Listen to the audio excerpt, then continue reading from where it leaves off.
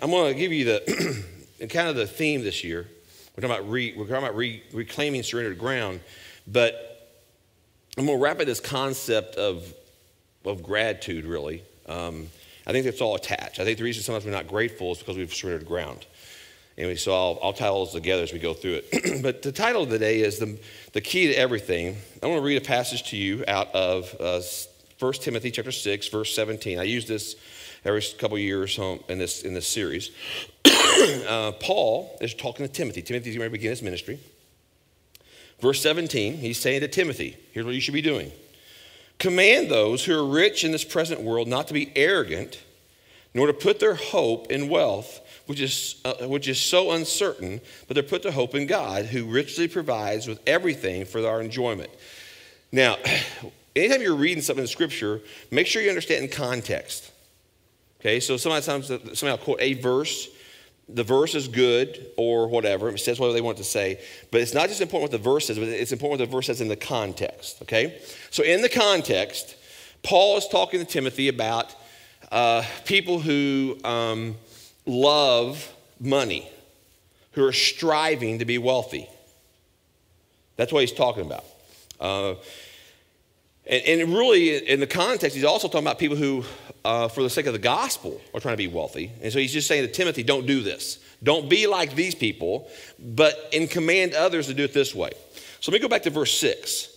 This same, same chapter, chapter 6, verse 6. But godliness and contentment are a great gain. For we brought nothing to this world, we take nothing out of it, but we have food and clothing, and we'll be content with that. Those who want, and this is really the context, he's, he's verse 9 and 10 is where, the context where he's come to. Those who want to get rich fall into temptation and a trap, into many foolish and harmful desires that plunge people into ruin and destruction. The, the key phrase is those who want to get rich. It has nothing to do with money. Money's not even a conversation, really. It's about the attitude about money. It goes on, verse 10.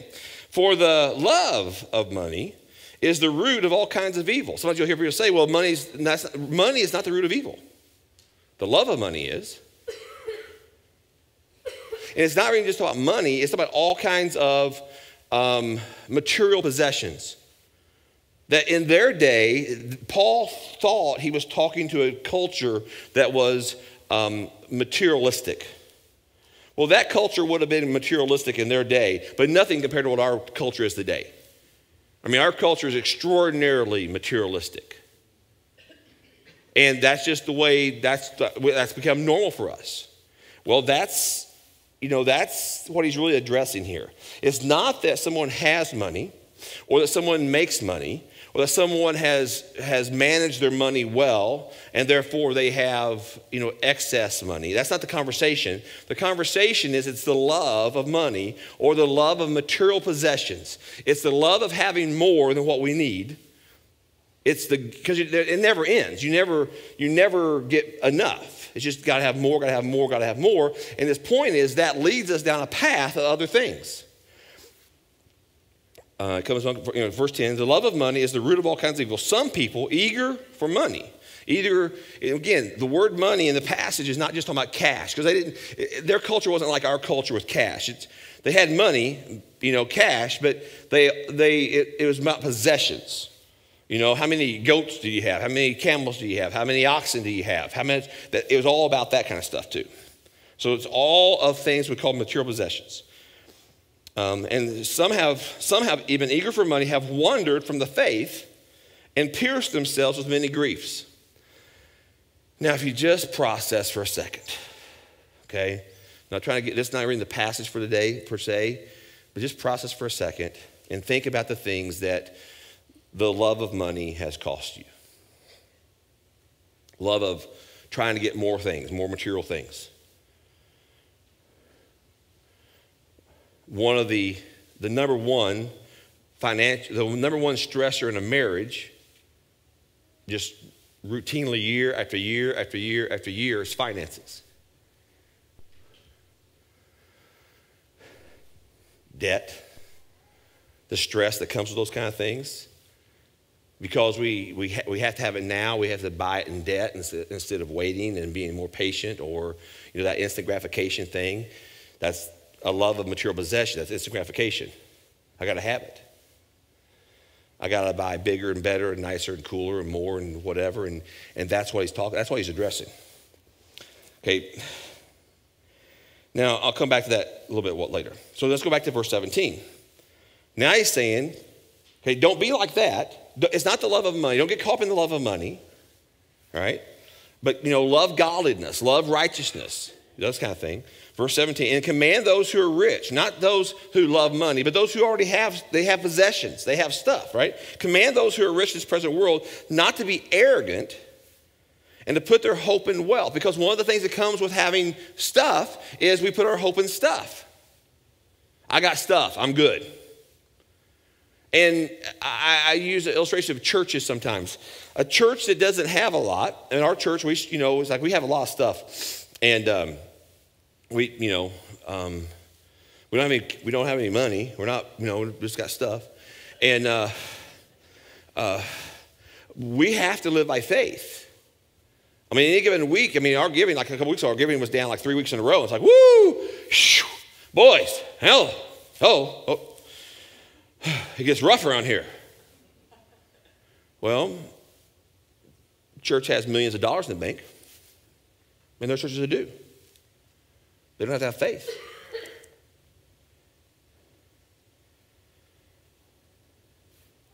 Now, I'm not trying to say we're all spending all our money, we don't have faith, we don't have reserves, that kind of stuff. That's not the conversation. But what happens is if I, as a person, have a lot, God has to, for me to have faith, God is going to challenge our faith. That's that faith grows by being stretched. It's like a muscle. Like my muscles are sore today because I did a lot of yard work yesterday. And, you know, so that's halfway squatting thing where you just got constant tension on your hammies and you're kind of halfway bending over on my back. And so I got some sore spots because it's things I didn't normally do. And it's because they were exercised yesterday. Well, faith is the same way. Faith is, for faith to be stretched or to grow, it, or to grow, it has to be stretched. It has to be put under pressure. Well, how does God put us under pressure if we have everything we want?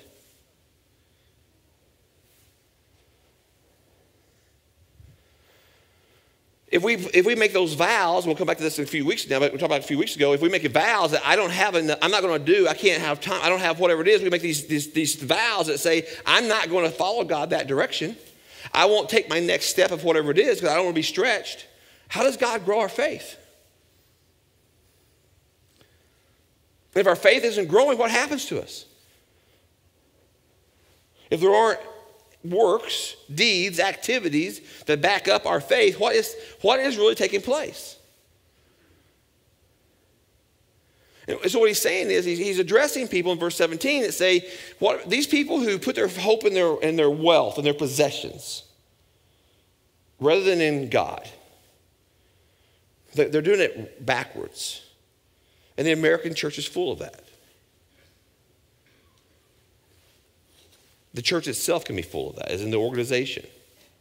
When you have a lot of stuff, it's easy to think we got plenty. We don't need to, we're not going to put ourselves under pressure.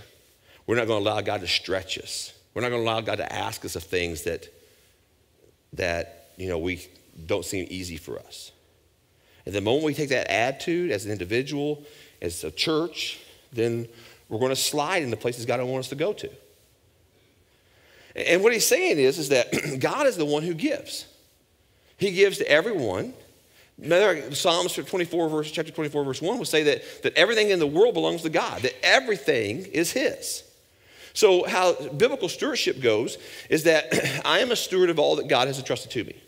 My next breath, finances, you know, we're talking about word stewardship, is more, way more than finances. It's everything, how you spend your time, your relationships, your children, uh, men, your wife is something you're a steward of, a manager.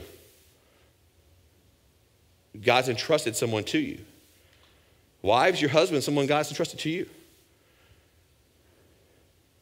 Parents, your children, people God's entrusted to you. That everything we have is a gift from God. That we are expected by God to be stewards of that. And the more that God's entrusted to us, is the more He asks of us the higher the expectations, the, the more we're accountable. That If you've been entrusted with much, you whoever's been entrusted with something is it's required they must prove faithful. We'll be held accountable to everything God's entrusted to us. I mean, it's a huge responsibility, but we don't want to think about that because we want to go out and have fun. But at the end of the day, there's paydays coming. There's a day we're going to have to stand up and say, okay, remember the old, uh, was it Midas commercial? It used to pay me now, pay me later, that, that commercial? We're, we're going to pay eventually. We're going to be judged eventually. At some point in time, we have to stand up and face God and say, okay, you God's going to say, I entrusted you with this. What'd you do with that? Did you use it for your own pleasure? Your own glory? Your own pride? Your own comfort? Or did you allow me to do these things in and through you? Did you invest it for my kingdom's sake? I mean, that's, at the end of the day, we all have to face that at some point in time. I mean, if we do right things, I mean, if I do a right thing for my glory, for my credit, so people like me more, th- that's not what God wants me to do. It's not do the right thing so that God, so that the person, the individual, or the church gets credit for it. It's you do the right thing because God asked you to for His glory. It's some of it's just mindset, some of it's attitude, of it's perception. But at the end of the day, God knows. We just think for a second, um, and this theme will come out throughout this time frame, this next few weeks probably, but at the end of the day, we get the results we want.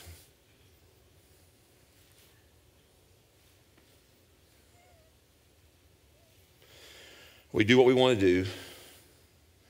We do it the way we want to do it most of the time. I don't want to do that, therefore I don't. A marriage. A marriage will be as healthy and as happy as two individuals want to be.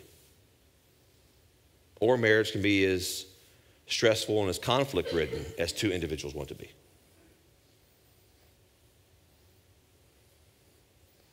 Our relationship with God can be as whatever the word you want to use, tight, as faithful, as whatever word you want to use, as we want to be.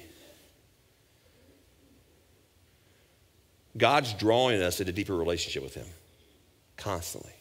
For some of us, we don't know Christ our Savior yet. He's drawing you in a relationship. Some of you know Christ your Savior for a long time, but you're dead and you're stagnant in your relationship with Him. He's drawing you in a deeper relationship with Him. Your spiritual development is the most important thing in the world. It's more important than anything about your life. Because it affects everything. It's, it's seeking first God and His way of doing things affects every single thing we do. We'll be a better dad, a better husband, a better father, a better employer and better employee, better mom, better wife, better. Well, everything will be better if we do things God's way. It's that kind of a concept, right? But what happens is, well, you know, I'm just going to go to church. If, if that's the expectation, I'm just going to go to church. I'm good. I, I, I get a gold star. I went to church today. That's it. If that's the attitude we have, then that's the relationship we have with God. God wants more. He wants more from each of us. It's not, well, Tim's the pastor of the church. It has nothing to do with it. Being the pastor of the church just means that I have some responsibilities that someone who's not the pastor doesn't have. But as a follower of Christ, it's all the same. The, the, the, the, biblical concept is a priest, what we call the priesthood of believers, is that we're all ministers. We are, we, once you receive Christ, he's the, he's the head, he's the chief priest, right? And he gives us direct access to God. And the Spirit of God indwells us. And the Spirit of God wants to transform us from the inside out to make us the, the people he's called us to be, to, to do the things that he's called us to do, that, that list of good works that we were born with. I mean, it was, it, was on, it was like on the refrigerator of God was this list of things he wanted to accomplish in your life before you were ever born. He gave you the gift and the calling to do those things. You may just be waking up to that idea, but God knew it from the time before you were born, God knew. And then what we do is we, we end up spending our life serving us. You know, our stuff and our needs and our whatever it is, and we don't have, it's not, okay. It's not that we have things and we spend time on stuff, we spend money on stuff. That has nothing to do with it. Here's where the problem comes in. If this is me, and God asked me for a next step, if God is stirring my heart to somehow respond to Him, and I can't do it because of me, I've made a vow. I don't have enough time. I don't have enough money. I don't have enough energy. I don't have enough knowledge. I don't have enough experience. Whatever the thing is, I, it makes me feel uncomfortable. That is the problem. The vow we've made that says we don't, we can't somehow take the next step, that's the problem. So, if God says, Tim, give $10, and I say, I can't, I don't have enough, that's the problem. I'm spending my stuff on me rather than putting God at his proper respect, his proper place of first place, recognizing he is the giver of all things, and my job is to manage what he's entrusted to me the way he wants me to. God asked me for 10 minutes of time. I can't, I don't have enough time. God's entrusted to me a, a 24 hour day, and I don't have time to respond to Him the way He asked me to. God says, I want you to make this decision. I want you to make this step that makes you feel a little uncomfortable. I know, I know this is going to stretch you, Tim, but how you get experience in doing things is doing things the first time. So I'm asking you to step out and do this and trust me in this and do the thing that I'm asking you to do. And I, well, that makes me feel uncomfortable. I've never done that. I, I feel uh, awkward. I don't want to look like a fool. I'm not going to do that, God. See, that's the problem. It's, a, it's the thing that, that I use to say, it's mine, I don't have to obey you. Now, just stop, hold time for a second. Make you the owner of a company. And you say to an employer or employee, hey, I need you to do this. And they say, I don't want to. They get fired. Is that correct? I mean, let's say your company says, hey, we're all going to wear a uniform and you buy your own uniform. The guy said, I don't want to. I don't have enough money. Okay, well, then you don't work here anymore. Hey, I want you to sh- stay a little later, show up a little earlier. I want you to do this thing. I don't have time for that. Oh, okay, you don't work here anymore. Well, uh, I want you to try this new thing. To put you in this new area that we want to try. Well, that makes me feel uncomfortable. I don't know if I want to do that or not. Well, now you get fired. You don't work here anymore we are lazy employees who deserve to be fired as it relates to our relationship with God most of the time. If God is the boss, He's Lord of our life, He's leader. He's not just our Savior, He's supposed to be Lord. If God is the boss, then we are the employees. If God is the Father, we are His children. Ever, what illustration you want to use, God's at the top and we're somewhere below that. The question is when God stirs us, when God draws us, when God calls us, whatever the word you want to use is, how do we respond to Him? As obedient children? As obedient employees? I mean, pick the word, whatever phrase makes sense to you. Or do we want to put our hope in our stuff? In our way of doing things, and what we think is right.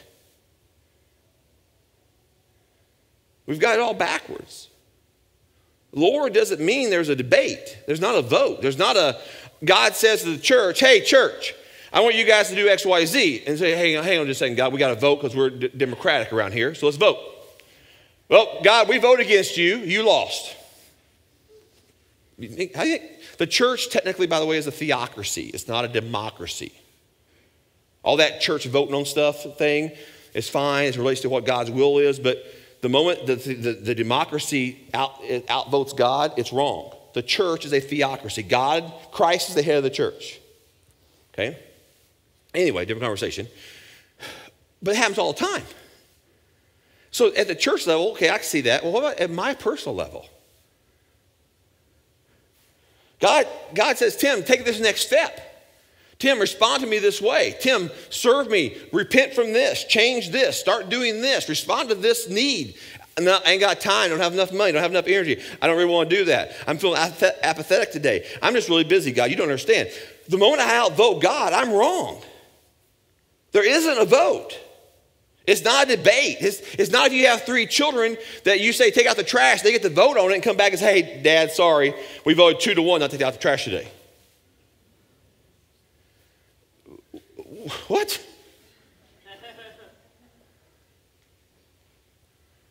That's why he's really addressing in chapter 7, or verse 17 when he says, Tell them not to be arrogant. Tell them not to put their hope in their stuff, but rather put their hope in God who gives everything for, and this is the best part of it, for their enjoyment. God wants you to enjoy things. The Creator wants you to enjoy the created, but He doesn't want you to worship the created. He don't want you to put the created above Him as the Creator. Number one, the outline. Uh, I'll give you number one and two because I've been beating them up all, already pretty good. Number one, where we place our hope matters. Where we place our hope matters. In every relationship, by the way, it's not just hope and let's talk about, I haven't mentioned marriage well, let's talk about marriage again. Um, is my hope in Christ or is my hope in my spouse? See, the series, I may use the word stewardship. It's not about money, it's about everything time, energy, relationships, everything, right? And money. If I put my hope in my spouse, what happens when my spouse misses my expectation? And then what happens? Then we try to fix our spouses. We're going to, and we may play games, play cold shoulder games, you know, or we get, maybe we get mad and slam doors. Maybe we don't return phone calls or we hang up on phone calls. You know, whatever the games are. Don't nudge people, but just, you know. Right? What about if we just quit having the expectations of our spouses and we started just trusting God? Maybe we ought to pray for our spouses rather than argue with our spouses. Mean, what would happen if you spent as much time praying for your marriage as you did arguing with the person you're married to?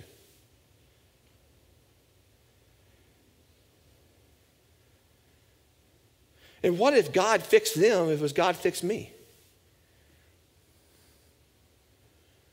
I mean, what if the thing that God's wanting to work on me, see, let's just say there's a thing about me. Say I'm impatient.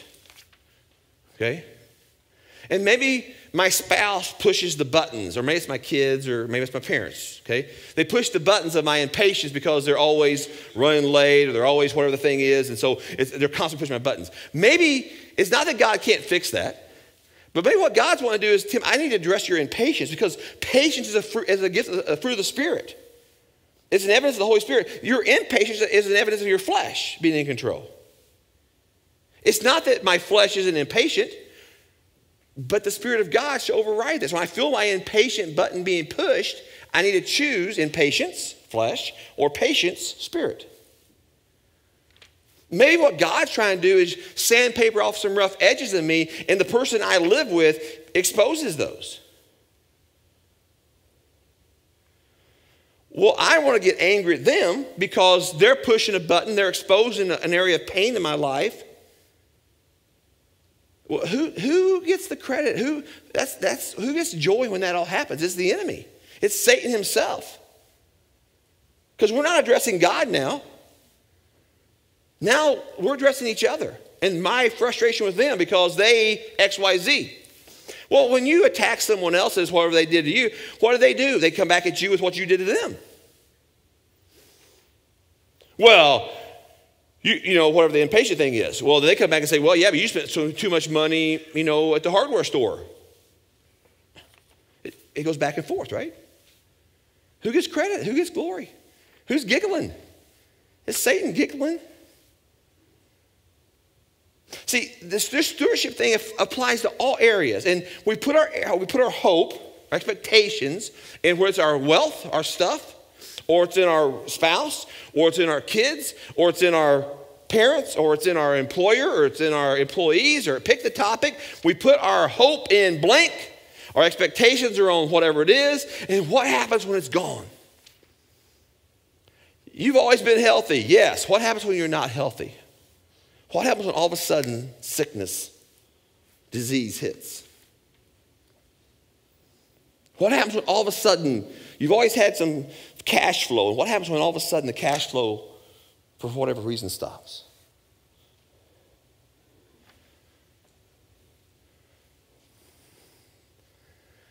See, if you just process that for a while, and you may have to think about it for hours or maybe days. What are all the things you put your hope in before you put your hope in Christ? My kids are well behaved. It's easy to put your hope in your kids and them being well behaved rather than putting your hope in God still.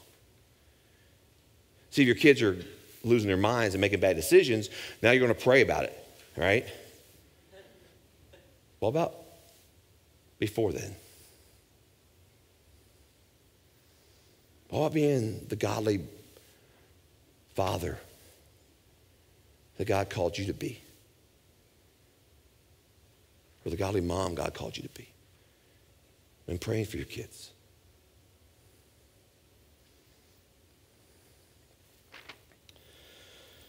Number two, biblical, expect, uh, biblical stewardship means God is the owner and giver, and we are the managers. God's the owner and giver, and we're the managers. And that's the owner and giver of everything. The owner and giver of everything. Um, it goes on in verse 18.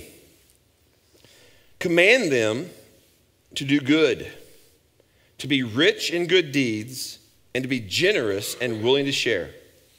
Command them to do good, be rich in good deeds, and generous and willing to share.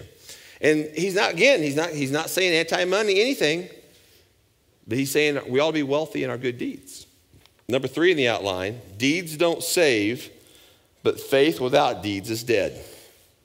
Deeds don't save. But faith without deeds is dead. All right, so just make sure everybody understands. I don't get your theology messed up. Um, we're not saved by our works, our deeds. The Bible says very clearly we're saved by grace through faith, not of works, not of deeds. Okay? Don't get that confused. However, if salvation has occurred, there should be deeds that evidence the salvation. Okay? So if I am saved, there ought to be good works, deeds that show that, that evidence that. So in James, I put some scriptures now, you can look them up later. In James, it, it, that's what it addresses. It says, because they're talking about two different audiences. One's talking about, and Paul's talking in the Ephesians, the churches or the people who felt like that their good works saved them. And he's saying, You're not saved by your good works. Your righteousness is filthy rags to God. It's God giving you his righteousness in Christ that saves you and all that kind of stuff, right? So you're saved by grace through faith, not of works.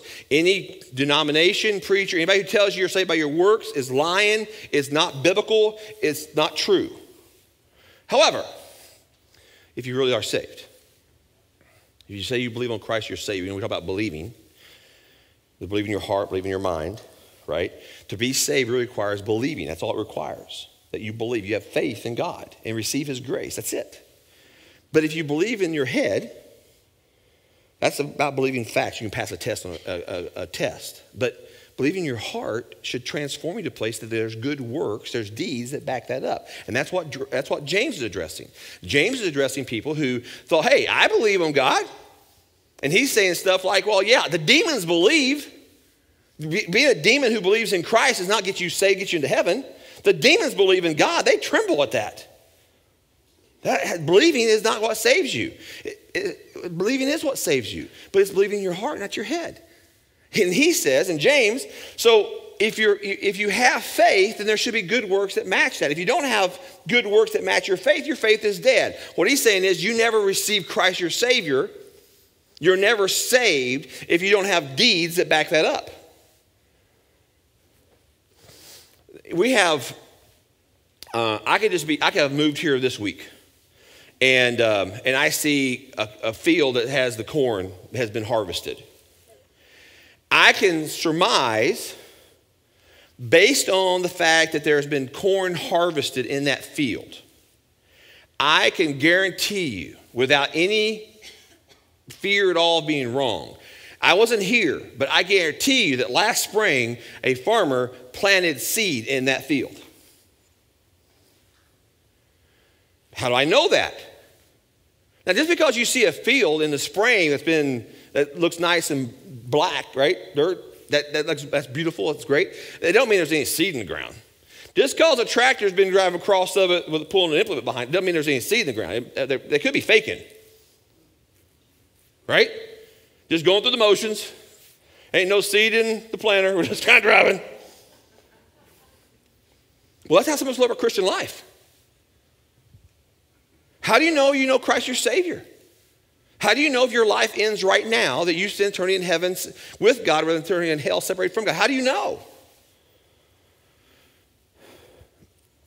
There's deeds. So in the corn world, there's seed that's planted in the spring. How do we know it's planted? Well, when you see green things start to come out of the ground. That's how we know. That's what James is saying. Your faith, you tell me you have faith in God, you tell me you believe in Christ, you tell me you're saved. If there's not good works that back that up, if there's not the evidence of the Spirit of God working in you, changing you from the inside out, if there's not evidence of the activity of God in your life, then you're not saved. You don't know Him as your Savior. Your faith is dead. That's what James is saying. Number four in the outline, it comes out of verse 18, 18 also. The key to everything is generosity motivated by gratitude. And this is really going to be the theme. And we're going to talk about how to reclaim surrendered ground. Because I think a part of the problem in our world is we just surrender so much, individually, as churches.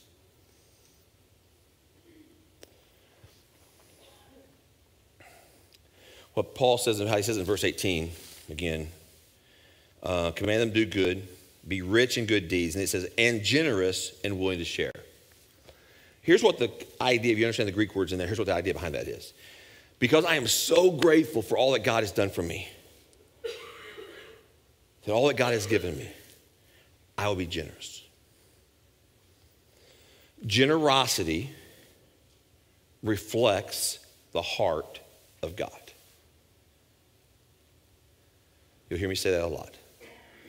Generosity reflects the heart of God. God so loved the world, he gave.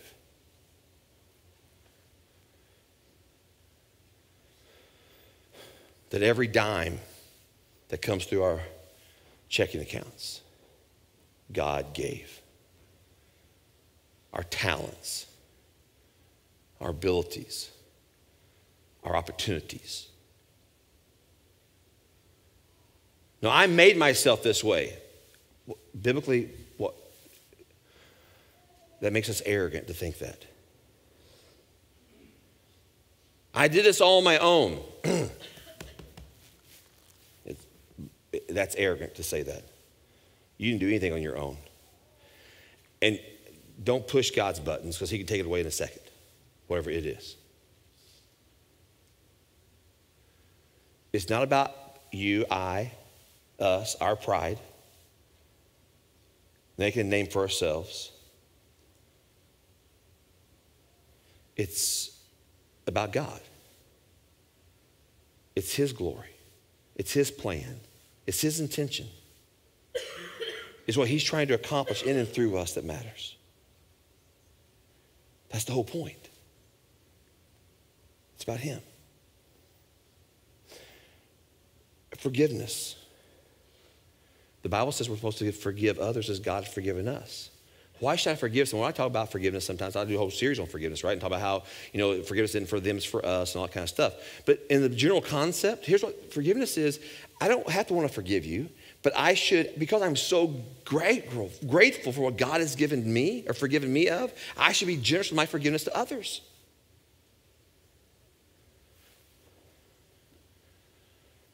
Kindness. What's kindness? Just be, you know. What is that? It's, it's, it's being generous. It's not with the finances. Don't hear the word finances when you hear generosity. It's way more than that. You can be stingy in lots of ways. You can be greedy in lots of ways. Right? You can be greedy with forgiveness or stingy with forgiveness, right? You can be greedy or stingy with attitudes like kindness. I'm not going to be nice to them. What? That, listen, if you know, if, it, when the Bible says that we should, we should treat others as we want to be treated, that's kind of what it's saying. It's because we want people to treat us with kindness, we should treat others with kindness. Well, I don't want to. Okay. Well, you don't understand. I, am just a, um, um, you know, I've just been hurt by too many people. Okay, what? What? Okay. I'm, I'm not saying those things aren't true. But what does God say? What does the Bible say? If, if God is the boss, if He's Lord, how do I evidence that?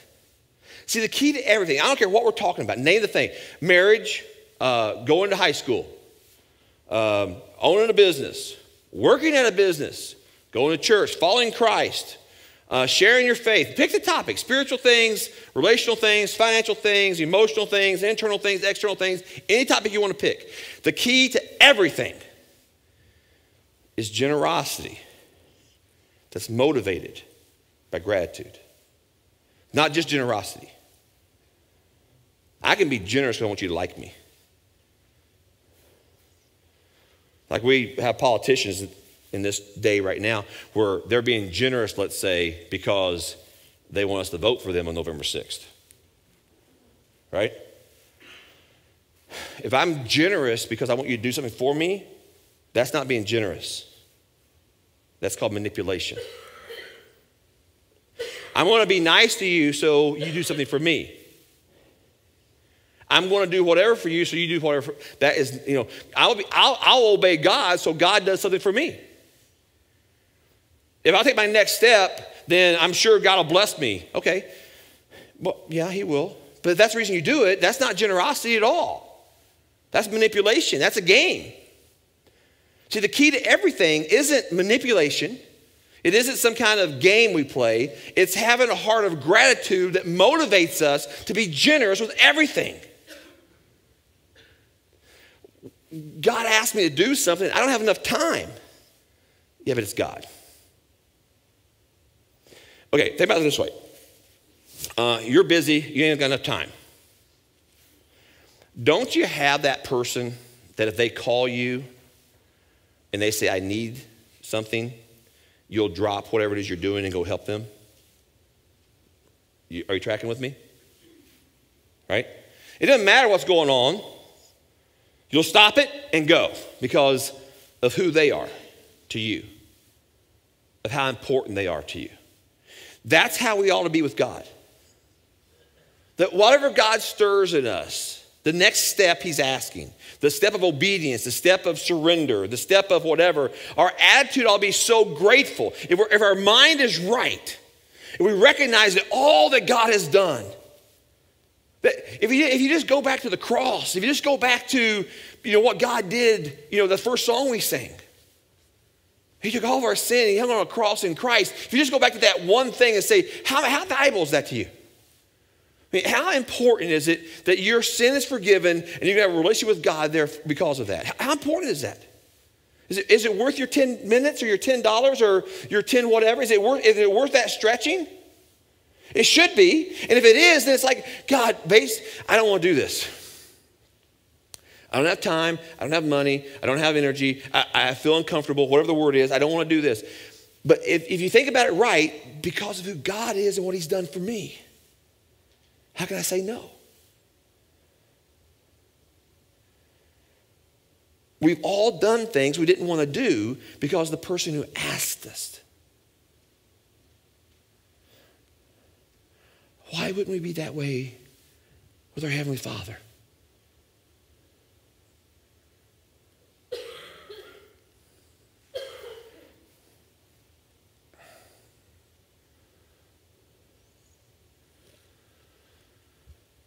That really is the whole point of the series.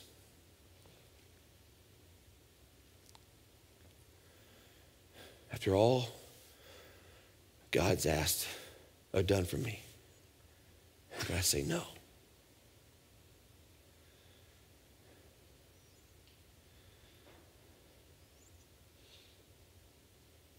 It's arrogant for me to say no.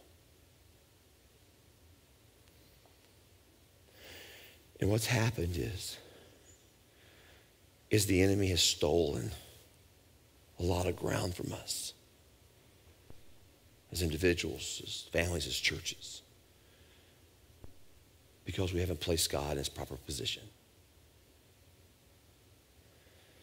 He's manipulated our emotions. He's manipulated our energy. He's manipulated our time. He's manipulated the way we spend our finances. And we say yes to every single thing before we're willing to say yes to God.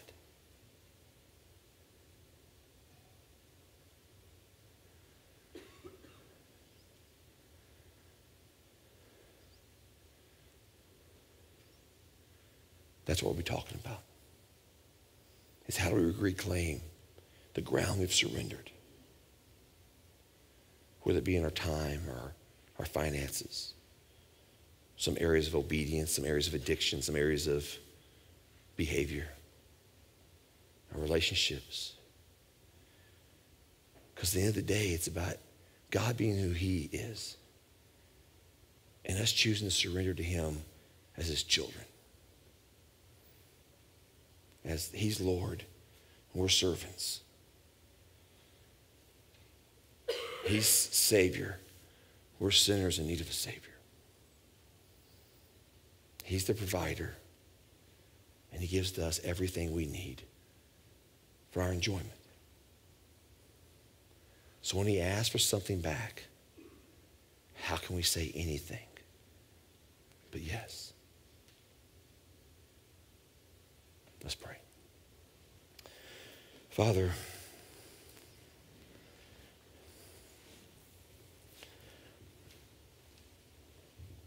if we just put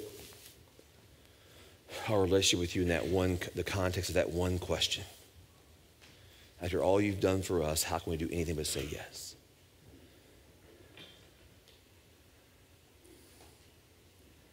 Okay, that resolves a lot of questions when you ask us to take a next step of obedience, when you ask us to choose surrender in an area, when you ask us to obey and respond in an area.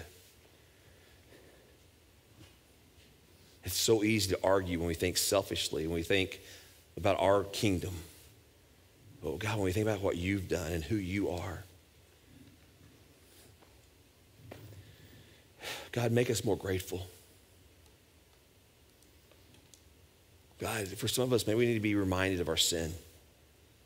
Maybe we need to be reminded of where you brought us from or where we struggle at today and how you still give us unconditional love.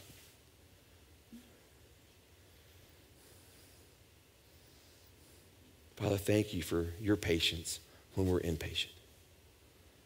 Thank you for your grace when we don't want to give it to others. Thank you for your forgiveness when we struggle sometimes with forgiving others. God, thank you for providing for us and financially and all these other ways when sometimes we're stingy with what you've given us and we don't want to give it back to you. Father, I pray you speak to us where we are the way you want to for your glories. In Jesus' name I pray. Amen.